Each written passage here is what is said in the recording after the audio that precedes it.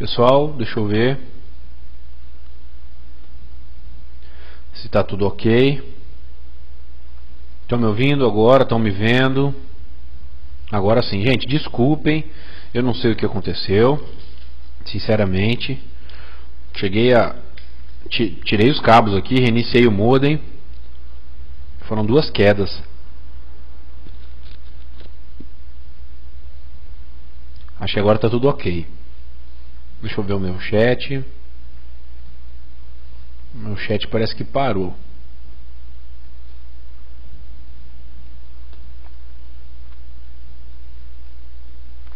Uhum. Bom. Deixa eu ver aqui.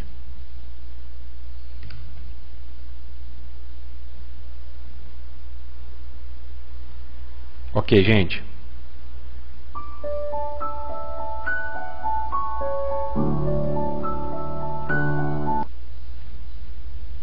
Ok. Acho que agora foi.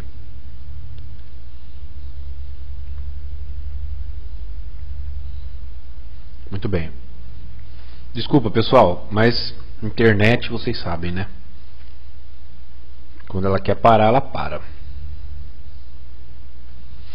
Bom, então deu para entender o split, né? O split é tranquilo. O split é bem tranquilo. É uma questão de. É, é, é, é um recurso, na verdade, que a empresa utiliza para dar mais liquidez aos seus papéis. Ok? Só que por outro lado, é, tem o implit. Tem o implit. Eu já vi muita gente falando assim: ah, o mínimo que o papel pode valer é um centavo. Se enganou quem acha que o papel pode valer apenas um centavo. Ok? O papel pode valer menos que um centavo. Como, Osney? Implitando. Por exemplo, o papel custa 50 reais. Ok? O papel custa 50 reais. Aí começa a cair, começa a cair, começa a cair, começa a cair, começa a cair, cai, cai, cai, cai, cai. Vai para 2 reais. O louco, Osney. Tanta queda assim? Né? Estou só exemplificando. O que a empresa pode fazer? Um implit, fazer um agrupamento de ações. Por exemplo, quem tinha 100 ações passa a ter 10. Porém, cada uma valendo 20. Ela custava 50. Esquece o passado. Hoje ela custa 2. Pega mal para a empresa, né? Uma ação custando 2 reais, esses dias valia 50 reais a ação da empresa. Agora está custando 2. Então a empresa pode fazer um implit. Ela faz um agrupamento. Essas 100 ações que você tinha a 2 reais se agruparão e se formarão apenas 10 ações. Porém, cada uma valendo 20. O seu patrimônio continua igual. Você tinha 100 ações valendo 2 reais, que dá um total de 200. Agora você tem 10 valendo 20. Qual é o seu financeiro? 200 reais. 100 valendo 2 é a mesma coisa que você ter 10 valendo 20. Então implitou. Você tinha 100 ações. Você tinha 100 ações. Agora você passa a ter 10 ações, cada uma valendo 20. E as quedas continuam, as quedas continuam, as quedas continuam, cai, cai, cai, cai. A ação volta a custar dois reais. Você tem 10 ações. A empresa resolve fazer um novo agrupamento. Vamos agrupar 10 em uma. Quem tinha 100 passa a ter 10. Quem tinha 10, que é o seu caso, passa a ter uma valendo 20 reais. O seu patrimônio continua o mesmo. Ó, você tinha 10 ações valendo 2 reais. Você mesmo valia 20? Sim, valia 20. Caiu, caiu, caiu, voltou para os dois. Você tinha 10 ações valendo 2 reais. Quantos, quantos reais você tinha?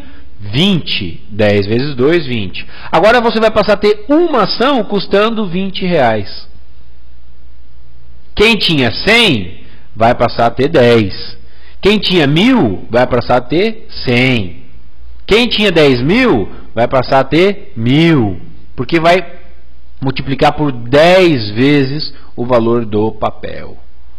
Agora, meu amigo, você tem uma ação valendo 20 reais. Se cair, cair, cair, cair, cair de novo e voltar para dois reais, a empresa fazer um novo agrupamento, você vai ter um décimo de uma ação. Ok? Então, muitas vezes as pessoas nos procuram, não vou dizer que é muitas vezes, mas já aconteceu várias vezes durante os nossos anos de caminhada, já aconteceu da pessoa falar assim: Osnei, o meu avô morreu e a gente começou a mexer nas coisas dele aqui. Ele tem uma quantidade X de ações da empresa Y. O que, que eu faço com isso?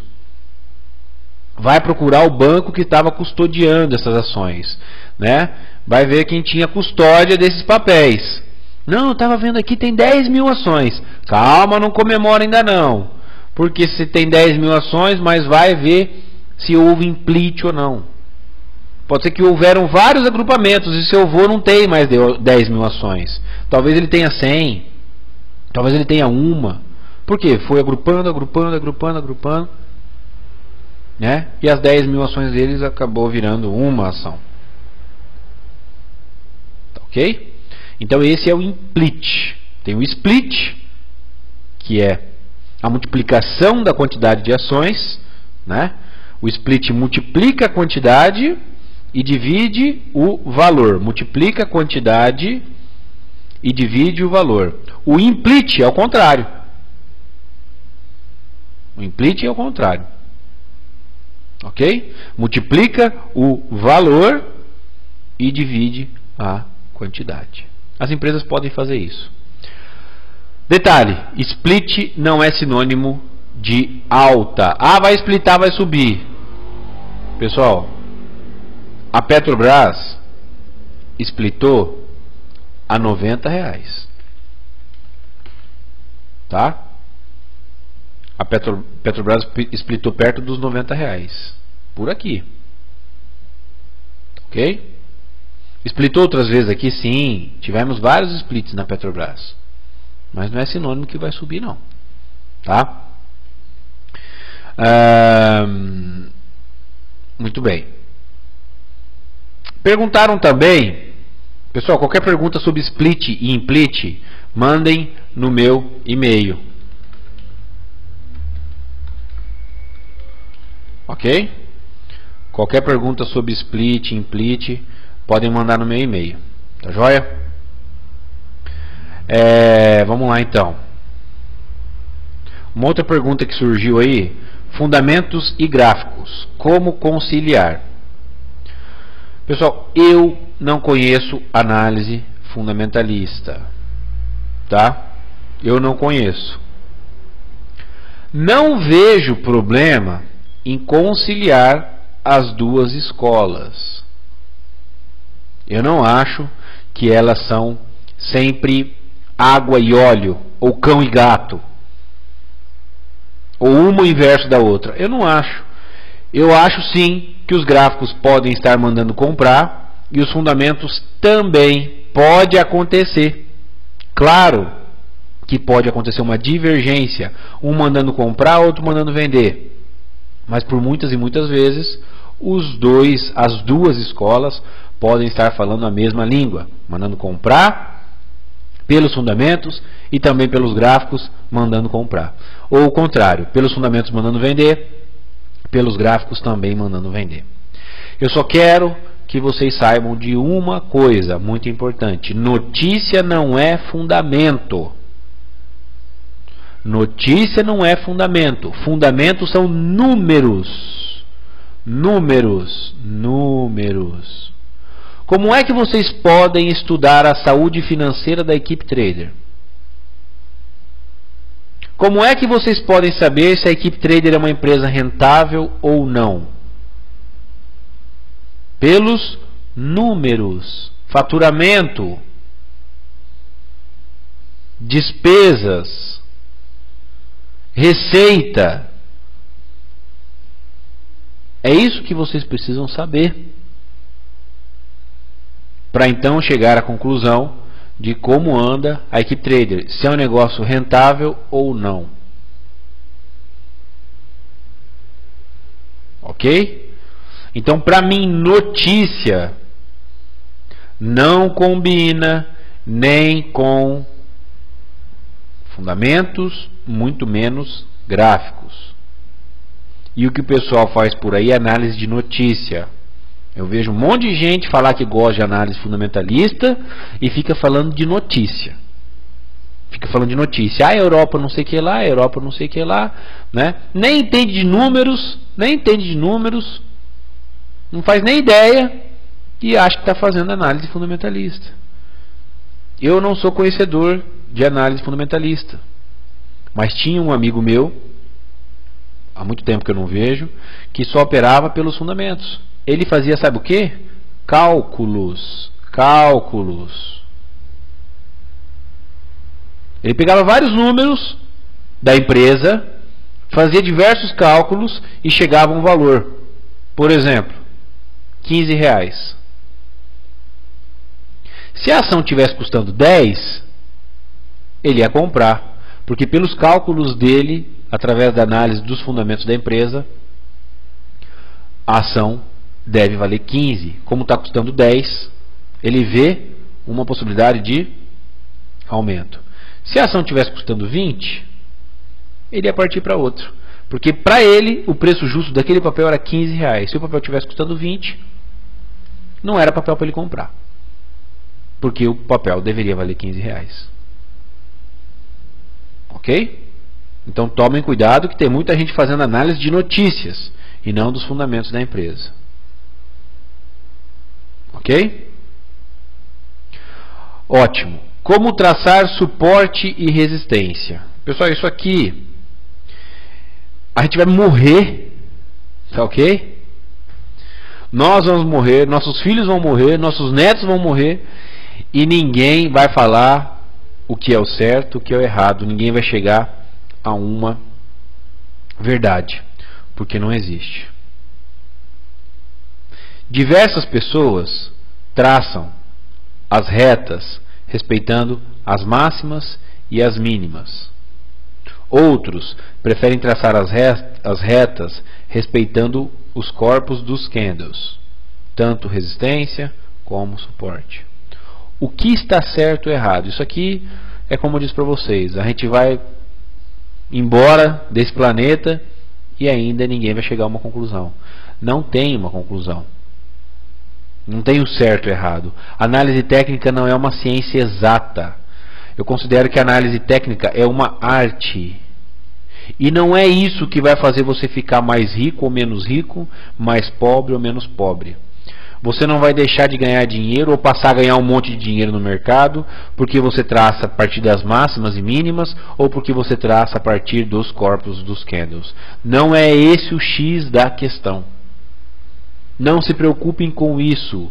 Inclusive, Gustavo, se você puder passar para a gente aqui o link da news de hoje, tá?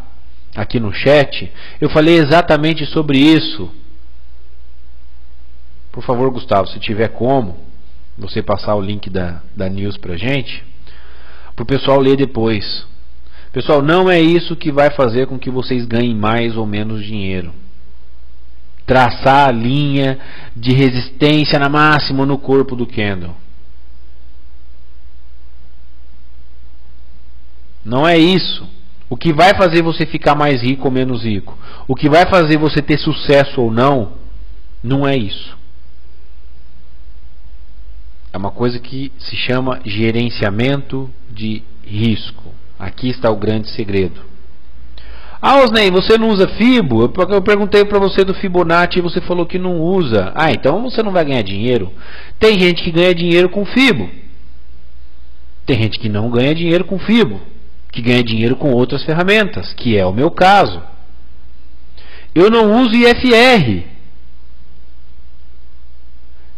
Não gosto. Tem gente que usa IFR e ganha muito dinheiro. Tem gente que não consegue operar day trade. Tem gente que só faz day trade. Existem médicos que cuidam do coração e ganham dinheiro. Existem médicos que cuidam do ouvido e ganham dinheiro. Existem médicos que cuidam da unha encravada e ganham dinheiro. Então você tem que achar as ferramentas que você gosta, que você acredita nelas, porque você deve acreditar também. Ok? Não adianta nada você usar uma ferramenta que você não acredita, você precisa acreditar. O primeiro passo. E depois, né, adaptá-la, montar o seu trade system, a sua forma de operar, ok? Então não faz parte do nosso método a utilização do Fibonacci, por exemplo. Já estou até respondendo aí quem perguntou do Fibo, né? Agora, pessoal, se vocês ficarem se prendendo a traçar resistência na máxima ou no corpo do candle, vocês estão fritos. Vocês estão fritos. Por exemplo, Petrobras. Para mim, é indiferente se a resistência é aqui,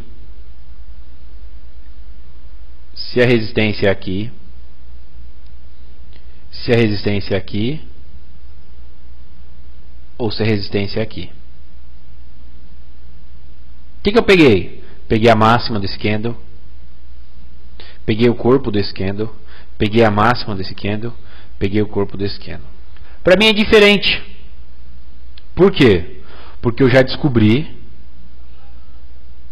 depois de tomar muito pau, que aqui é uma zona de resistência. Mas aonde que é essa zona de resistência? Por aqui.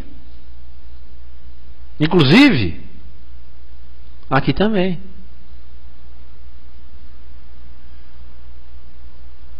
Eu sei que aqui é uma zona de resistência. Nessa região, o papel deve, deve sentir dificuldade para romper. Mas Osnei, aqui, aqui, aqui, aqui, até parece pauta, né? Se a gente fizer uns desenhos assim, ó, até parece é, música, né? Osnei, é, vai até parecer música aqui, ó, se a gente desenhar, né? Partitura. Mas é por aí mesmo. É por aqui que ela vai sentir resistência. Eu não sei dizer para vocês se é 1980, se é 20, se é 2010, se é 2020, se é 2050. É nessa região. Mas para mim não vai mudar nada. Porque eu sei que ela está próximo a uma resistência. E próximo a uma resistência, em região de resistência, eu não vou comprar. Eu não vou comprar. Ela pode aqui plantar bananeira ela pode fazer gracinha, ela pode fazer o que ela quiser aqui. Eu não vou comprar, porque eu sei que ela está próxima a uma região de resistência. E sei também que ela acaba de fazer um movimento de alta. E após o movimento de alta, igual ela acabou de fazer, eu nunca vou ter um fundo. Sabe o que é fundo? Isso aqui é fundo. Isso é fundo. Isso é fundo. Isso foi fundo. A Petrobras nunca vai poder fazer um fundo aqui, agora, porque ela acaba de subir. Ela pode continuar a subir, ela pode andar de lado, ou ela pode cair. Mas fundo, onde ela está aí hoje, nunca. É impossível. Porque o fundo acontece após um movimento de baixa. Então, para o método que eu utilizo e da forma como eu opero, eu sou um comprador de prováveis fundos. Eu não vou dizer para vocês que eu só compro fundo. Quem dera se eu só comprasse fundo. Seria ótimo, imagina. Só, só compro aqui, ó. Eu só compro aqui. Minhas compras são todas aqui, ó. Sempre nos fundos. Não. Mas eu sou um comprador de possíveis e prováveis fundos. Aqui é possível e é provável um fundo? Nunca. Sem chance. Porque acaba de fazer um movimento de alta. Então, para mim, não importa muito se a resistência, como eu disse para vocês, é aqui, ou é aqui, ou é aqui, ou é aqui. Para mim não importa muito. Porque aqui eu não vou comprar Petrobras. Porque o que eu gosto de comprar é fundo. E ela não tem condições de fazer um fundo aí. Ok? Mas, para quem utiliza outros métodos e depende muito dessas linhas de suporte e resistência, cuidado. Cuidado que essas linhas são traidoras.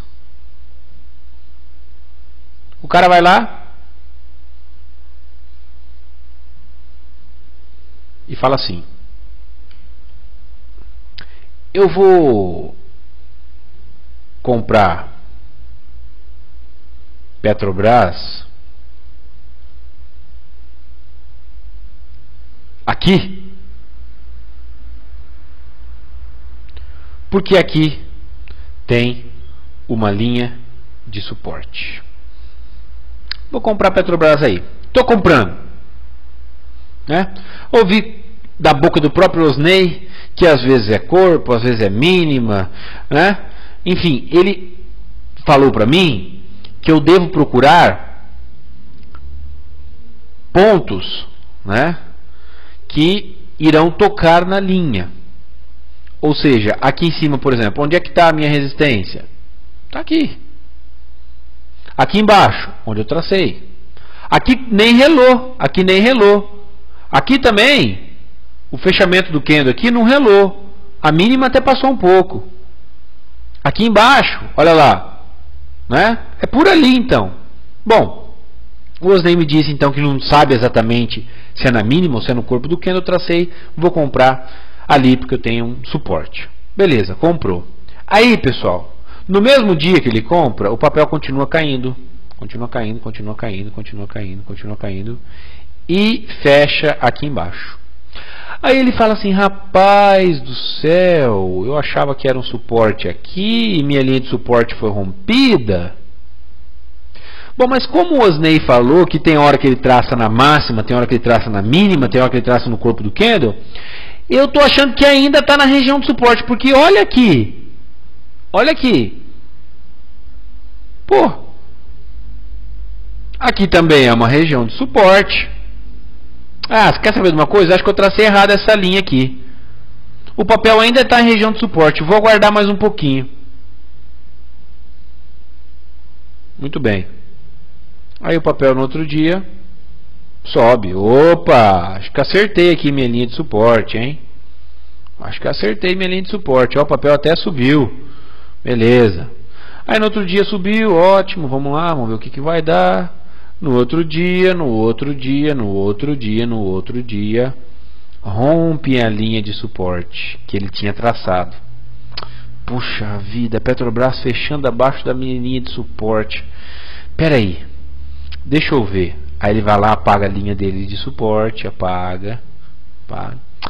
Eu acho que o suporte na verdade está aqui, ó se for ver bem, porque lá no passado, a gente não está vendo aqui, ó, mas lá no passado, né, para a esquerda do gráfico ali, lá no passado, eu tinha um, essa região mais ou menos de suporte aqui. Eu acho que minha região de suporte é aqui. Bom, muito bem. Dessa vez até deu certo. O papel subiu.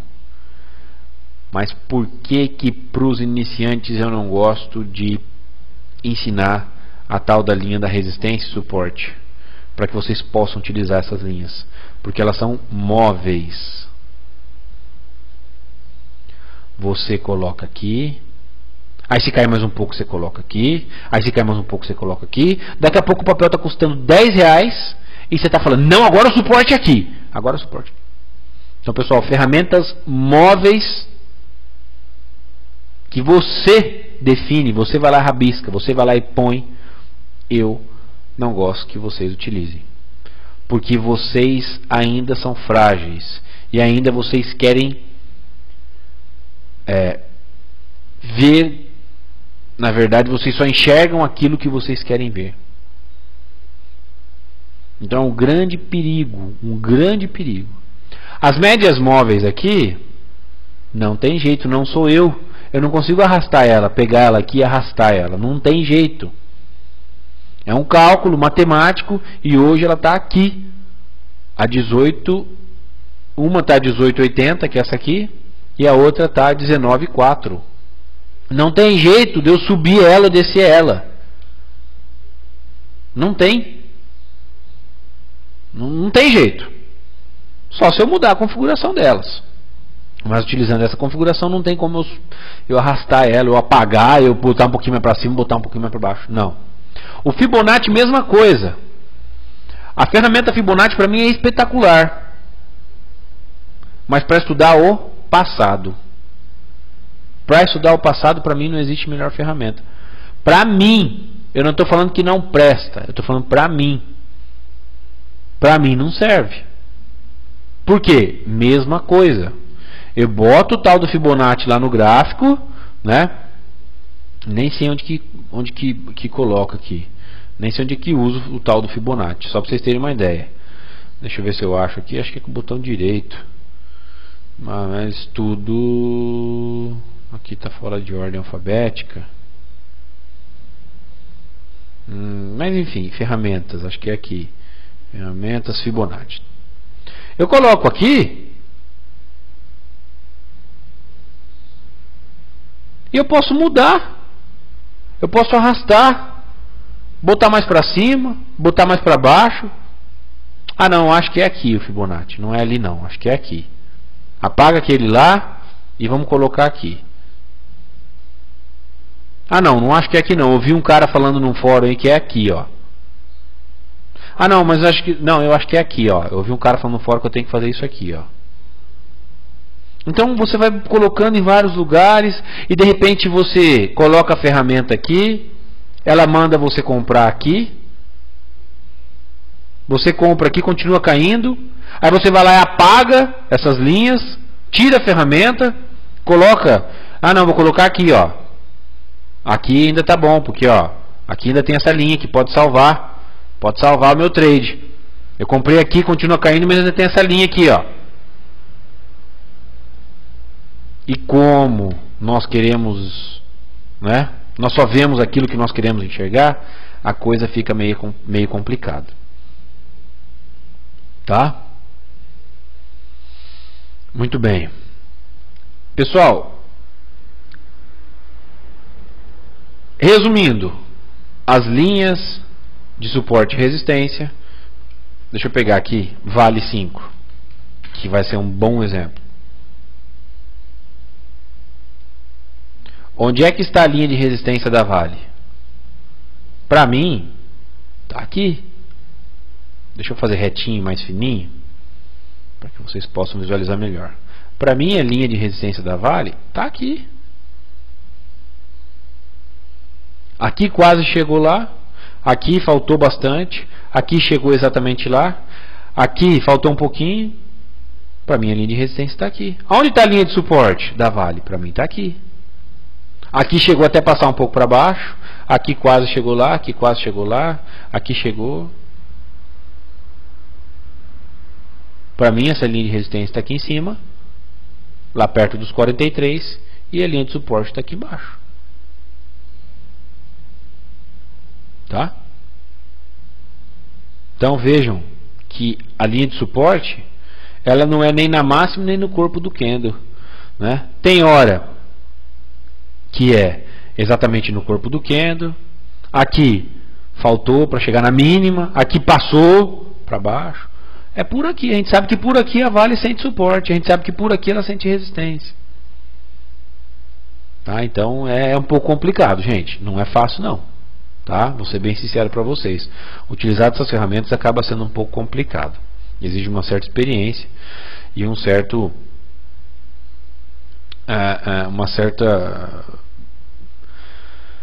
certo costume de utilizar, enfim, né, intimidade com o papel, com a ferramenta, que você vai ganhar ao longo do tempo utilizando a ferramenta que você né, queira utilizar, ok? Eu não utilizo muito, acabo utilizando um pouquinho mais para mostrar uma lateralização, por exemplo, a Vale, sempre estou colocando, ó pessoal, a Vale está lateralizando, a gente vê que ela chega aqui perto e cai, a gente vê que ela chega aqui embaixo e sobe, né? Eu mostro, eu utilizo, eu rabisco, né? Acho que eu sou a pessoa que mais rabisca aqui no auditório, mas assim, vocês vão ver que eu não utilizo muito para comprar, para vender, né? Ah, ó, por causa dessa linha aqui, estou comprando, por causa dessa linha aqui estou vendendo. É só para mostrar uma lateralização, uma região de suporte, mas a gente acaba não utilizando muito, tá ok? Como referência para compra. A gente utiliza mais as médias móveis e os próprios candles, tá? Muito bem. Onda 3. Esse aqui é um assunto que pode tomar um pouquinho de tempo. Na verdade, tem mais dois assuntos que eu anotei aqui que eu quero falar, mas que podem tomar um pouquinho mais de tempo. Mas eu vou falar, fazer o quê? Pessoal, onda 3 é o seguinte: tendência de baixo. Tendência de baixo é assim. O que, que é isso? Topos e fundos descendentes. O que acontece? Cai e sobe um pouquinho. Cai mais que a última vez e sobe menos que a última vez. Cai mais que a última vez, sobe menos que a última vez. Cai mais que a última vez, sobe menos que a última vez. Cai mais que a última vez, sobe menos que a última vez. Não cai mais que a última vez, sobe mais que a última vez. Por que é chamado de onda 3? Onda 1, onda 2, onda 3. Aqui está o padrão que reverteu a tendência. Aqui está a quebra dos padrões que vinha ocorrendo. O que acontecia? Cai mais que a última vez, sobe menos. Cai mais que a última vez, sobe menos. Cai mais que a última né? Aqui não caiu mais que a última vez e quando subiu, que é exatamente na onda 3, subiu mais que a última vez. A compra aqui é a melhor compra que existe. A compra aqui, onde eu fiz esse, essa bola vermelha aqui, ok? Preenchida aqui é a melhor compra que existe. É a melhor. Por quê? O movimento costuma ser rápido e forte. E a onda 3 costuma ter o tamanho da onda 1 ou 1,6 vezes mais. Ou seja, isso e mais metade. Vamos dizer mais ou menos assim. 1,6 vezes maior que a onda 1. Então aqui está o melhor trade, porque ele costuma ser o mais rápido e muitas vezes ter 1,6 vezes o tamanho deste movimento. Só que é o trade mais difícil. Por que, é mais difícil, Osney? Sabe o que é mais difícil? Porque eu pergunto uma coisa para vocês.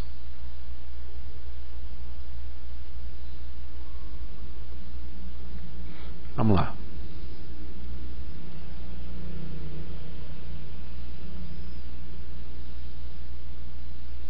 Qual é o sinal que eu tenho que este movimento não vai romper o fundo anterior? Qual é o sinal que eu tenho? Até aqui, onde pode haver o início da onda 3, é mais um movimento igual a esse. Ó, é só continuar caindo, que vai fazer um fundo abaixo do fundo anterior. É só continuar caindo. Então até aqui é tendência de baixa. A onda 3 é exatamente o movimento que vai quebrar o padrão. Só que até aqui estava acontecendo como vinha acontecendo antes. Não sabemos porquê, houve então aqui uma troca de força e o movimento de alta ocorreu justamente porque a força compradora superou a força vendedora. Mas não vinha fazendo isso, porque os movimentos de baixa superavam sempre o fundo anterior. Tá? É, nós temos um método bem bacana, mas claro, não vai dar para eu falar aqui, porque são quatro DVDs que abordam este assunto, tá ok? Então, assim, seriam pelo menos umas 8, 10 horas de aula para eu poder explicar para vocês como comprar aqui, ou como tentar comprar aqui, né? Como então não prever movimento, mas enxergar alguns sinais que o mercado pode nos dar de uma reversão de tendência para pegar essa onda que é bacana. Não é fácil, Não é fácil. Para aqueles menos experientes, o que eu aconselho é o quê? Aguardar que aconteça o pivô de alta e na próxima formação de fundo, na próxima possibilidade de formação de fundo, você tenta fazer a compra. Depois de ter ocorrido o pivô de alta, depois de ter feito a reversão, que parece uma letra N de navio, aqui ó, letra N de navio, depois de ter acontecido o pivô de alta, depois de ter acontecido a onda 3, na próxima queda, na próxima correção, quando sinalizar fundo, que costuma ser perto das médias móveis, aí a gente tenta comprar. Tá? Nós temos um setup, nós temos uma forma de operar que nos dá a possibilidade de comprar aqui. Ok? Mas não é fácil, é difícil. Tá? Eu nem sempre consigo comprar aqui. Por exemplo, o Ibovespa, o Ibovespa estava com a possibilidade de reverter tendência. Por que eu estou falando estava?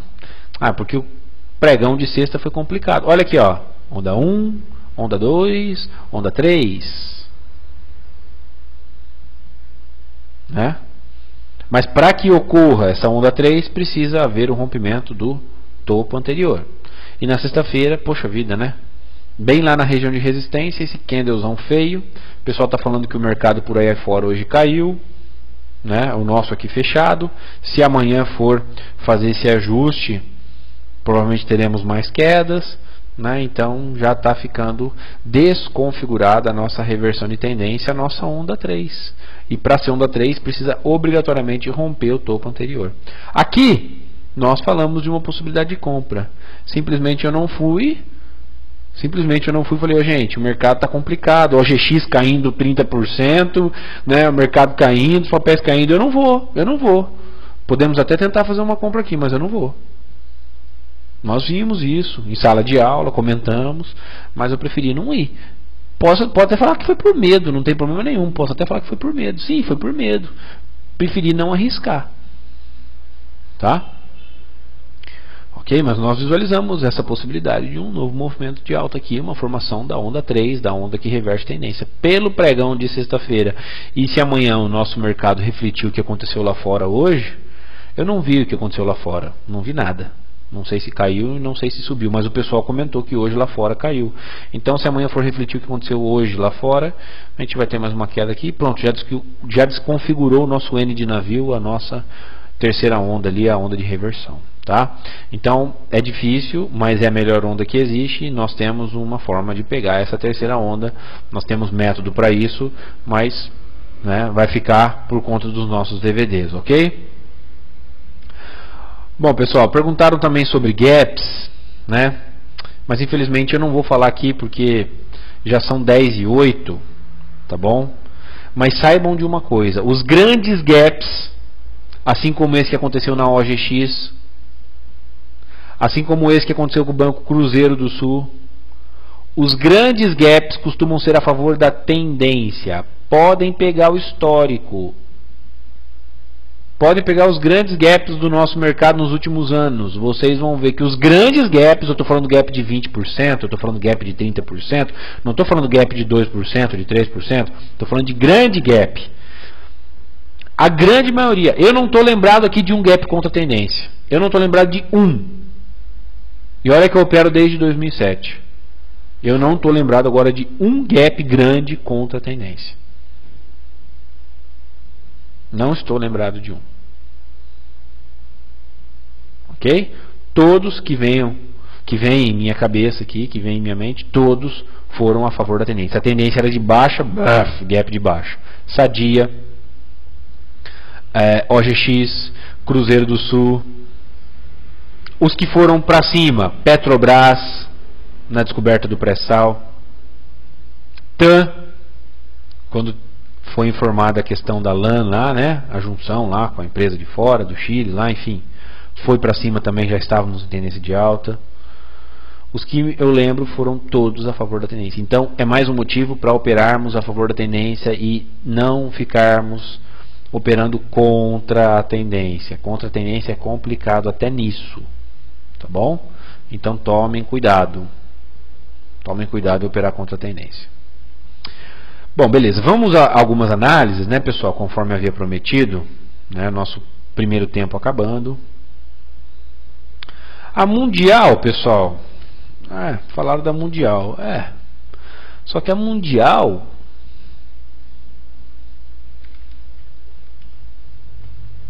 A Mundial não teve gap, assim, né? É. É, mas. Tá, beleza. Vou aceitar. A Mundial. A tendência era de alta. Só que. Né? É mico dos bravos, né? Estou falando de papel, não estou falando de mico. Eu não opero isso aqui, né? Então, OGX, tendência de baixa, aconteceu o gap, é, CZRS4, que é o Banco Cruzeiro do Sul, já tinha uma tendência de baixa, preço abaixo das médias móveis, tinha caído um monte dois dias antes, aí anuncia e abre com gap de baixa. A TAM que eu comentei com vocês. Quando houve o anúncio, até nem foi gap também, tá? Foi uma alta mesmo, mas a tendência já era de alta. Olha lá. Quando houve anúncio lá. Ah, quando que foi isso, meu Deus do céu? Agosto de 2010.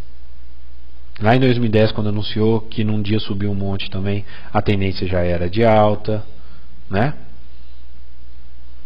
Então, operem a favor da tendência que vocês não vão se arrepender. Muito bem. Pessoal, então vamos para o nosso segundo tempo, já com 10 minutinhos de atraso, ok? Vamos lá. Eu pensei que ia dar menos pessoas hoje, pessoal. Mas, caramba, 300, mais de 300 pessoas, muito bom. Muito bom. Que bom que nós fizemos. Né? Que bom, que legal. É, mais uma vez, quero falar da nossa empresa, o nosso site, equipetrader.com.br. Né? Então, pessoal, façam um cadastro no nosso site. Aqui em cima tem um menu Cadastre-se. É que eu tiro bastante o zoom para caber na tela, para que vocês possam enxergar. Então ele acaba não aparecendo aí para vocês. Mas entrando no nosso site aqui, ó, tem um menuzinho Cadastre-se. Fica aqui, ó, do lado do loja, se não me engano fica cadastre-se. Aqui, ó. Faça o cadastro no nosso site, porque esse final de semana mesmo nós temos o módulo 1 do curso de formação de traders. Você pode participar gratuitamente, basta ter o cadastro. Na outra semana, no próximo sábado, dia 21, nós teremos o módulo 2. Você também poderá fazer de forma gratuita. Então, para que você possa participar do módulo 1 esse final de semana gratuito, você precisa ter o cadastro. Para participar do módulo 2, você vai precisar ser cliente da nossa corretora parceira. Sem pagar nada, sem custar nada. Inclusive, vai ganhar 30 dias de corretagem gratuito. Fazendo a primeira operação, vai ganhar um DVD nosso. Né? Então, para assistir o primeiro módulo, que é esse sábado, é só fazer o cadastro no nosso site. É online o curso, tá? Das 9 às 16 horas, das 9 às 16 horas, online, gratuito para todos os cadastrados. Basta se cadastrar. E depois, no outro sábado, no dia 21, se você gostar do primeiro módulo agora, você abre conta na corretora, ganha 30 dias de corretagem, após a primeira operação, ganha um DVD, vai ser atendido por nossa equipe, vai ter o melhor atendimento, as melhores ferramentas, né? E daí participa do curso também do módulo 2. E depois, se não gostar da corretora, fecha a conta. Não vai pagar nada também, encerra a conta. Eu tenho certeza que você não vai querer encerrar, mas caso não quiser, vai participar de um curso bacana, vai ganhar um DVD, vai operar 30 dias de graça. Depois você volta para o seu corretor ou abre conta em outra, tá bom? Então só há vantagens em abrir conta em nossa corretora parceira. Só que vocês vão ter que vir aqui em abra sua conta abra sua conta, vão ter que clicar aqui em abra sua conta e seguir todas as recomendações. Não podendo esquecer de indicar a equipe trader. Pessoal, para ganhar tudo isso que eu falei para vocês, tem que colocar lá. Conheci a corretora através da equipe trader. Durante o cadastro vai perguntar como conheceu a corretora, equipe trader. Não esqueçam disso, porque depois é complicado. Osnei, quero meu DVD. Ah, esqueci de colocar. Não tem DVD. Não tem DVD. Osnei, queria participar do curso, esqueci de colocar Keep Trader. Não tem curso. Então não pode, inclusive se for indicar para amigo, para o pai, para a mãe, para o irmão, lembre-se de colocar que conhecer a corretora através da Keep Trader. Para ter algumas vantagens é necessário indicar a Keep Trader, tá bom? Nossos DVDs também, né? Então temos vários DVDs. É, um DVD, é, um pacote que eu recomendo para vocês é esse aqui, ok? Vou até pedir para o Hamilton passar o link para vocês. Introdução e imersão, comprovando volume 1 e 2 e como ganhar com o mercado em queda. Né? É um kit bem interessante de DVDs que tem todo o nosso método ali, que até comentei com vocês hoje, né? que não daria para eu falar porque são várias horas. Então tem aqui parcelamos esse valor nos cartões Master, Visa, três vezes, né? Então Vejam aqui toda a emenda dos três DVDs, bastante conteúdo, a um preço bem legal, tá certo? É, deixa eu ver aqui. Deixa eu passar o link para vocês. Só logar aqui no chat.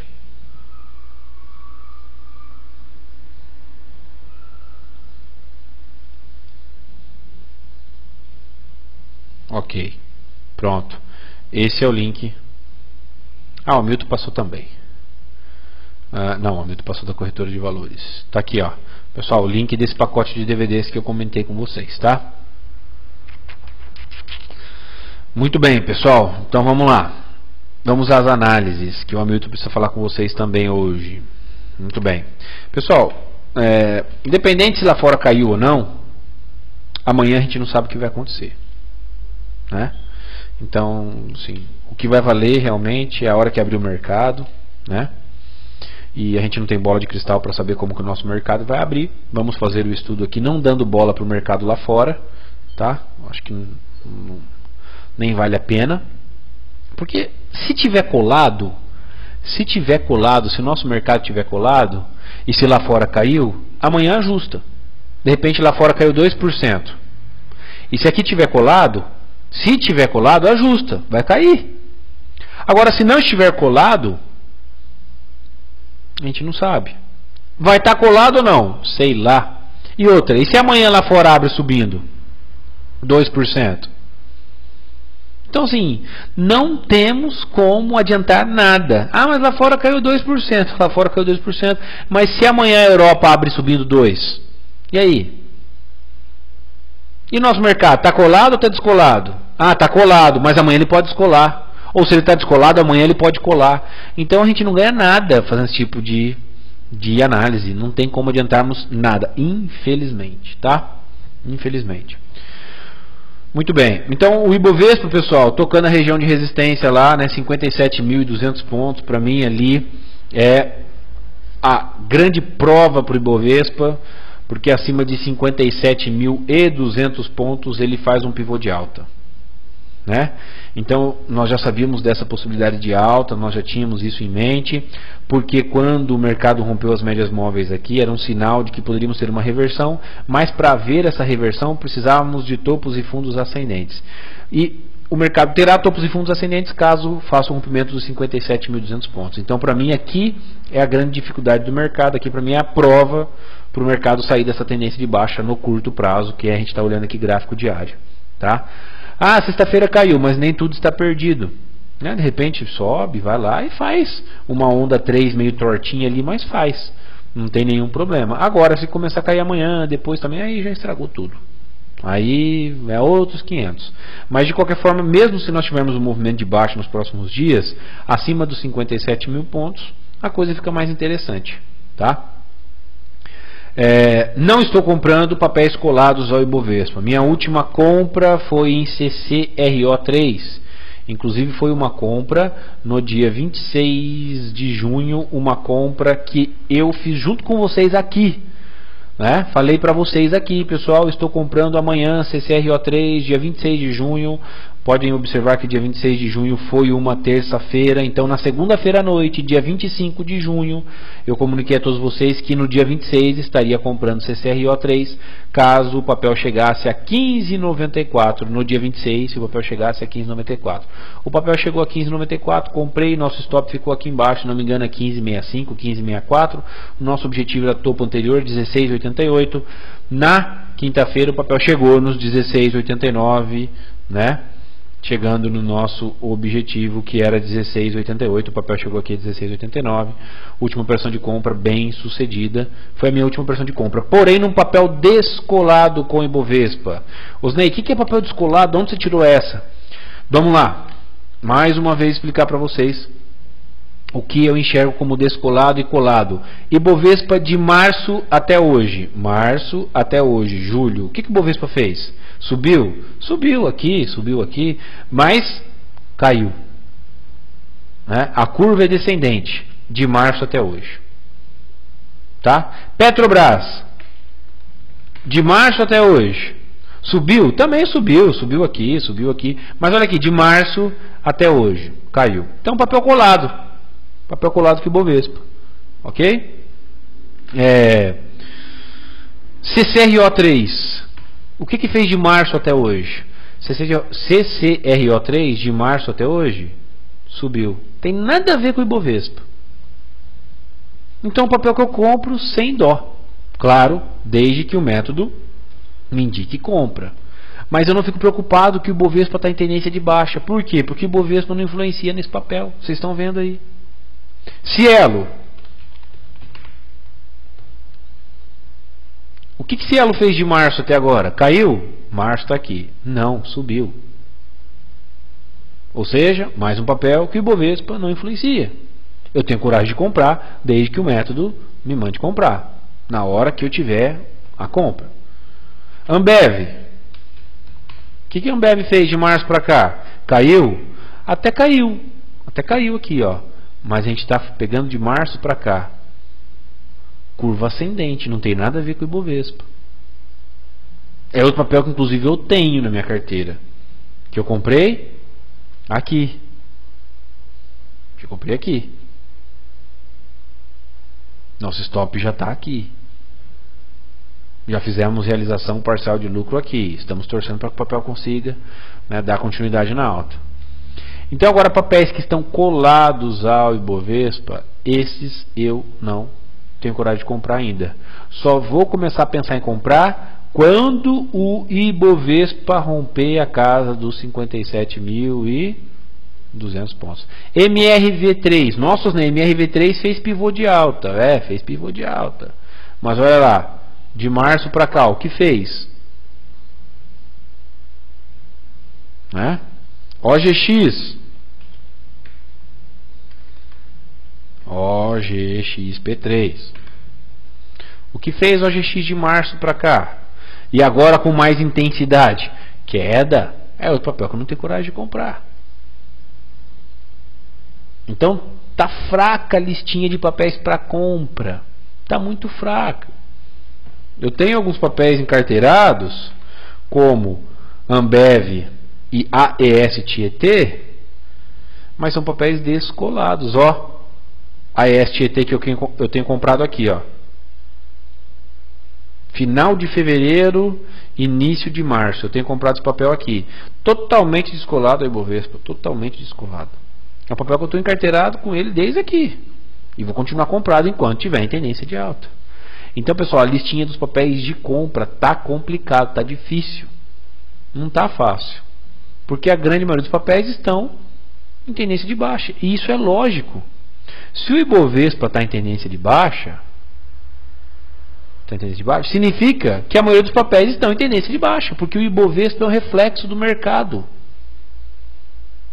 O Ibovespa ele corresponde a 80% dos negócios que ocorrem na Bovespa.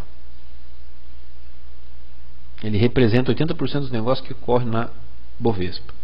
Né? Então, se ele está em tendência de baixo, significa que a grande maioria dos papéis estão em tendência de baixo. Ou outro são exceções, que eu já mostrei para vocês, estão em tendência de alta, e são os únicos que eu tenho coragem de comprar, desde que o método nos mostre a hora de comprar, o momento de comprar. Então está complicado para quem só pensa em comprar, para quem só quer comprar. O único motivo hoje de uma compra seria aquele motivo. Caiu bastante, Osnei. Nossa, você viu os em Minas como caiu? Né? Eu vou comprar porque caiu demais. Tomem cuidado, tomem cuidado, tomem cuidado, porque aquele que caiu demais está em tendência de baixa. Nossa, os Neus em Minas caiu demais, eu estou achando que eu vou comprar, rapaz do céu, como caiu? Tomem cuidado, porque se caiu demais está em tendência de baixa. Se está em tendência de baixa, o dinheiro esperto está saindo. Pessoal, coloque uma coisa na cabeça de vocês. Eu vocês não fazemos cosquinha no mercado. Se eu juntar todo o meu dinheiro juntar tudo dinheiro de vocês e mais da torcida do Flamengo e da torcida do Corinthians, meros comedores de arroz e feijão, a gente não faz cosquinha no mercado. O volume da nossa Bovespa está na casa dos bilhões diariamente. Então eu tenho que acompanhar vocês.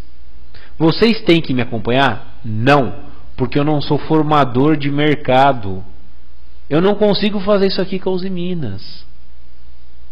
Para eu fazer isso aqui com a Uzi Minas, eu preciso vender, vender, vender, vender, vender, vender, vender, vender, vender, vender, vender, vender, vender, vender.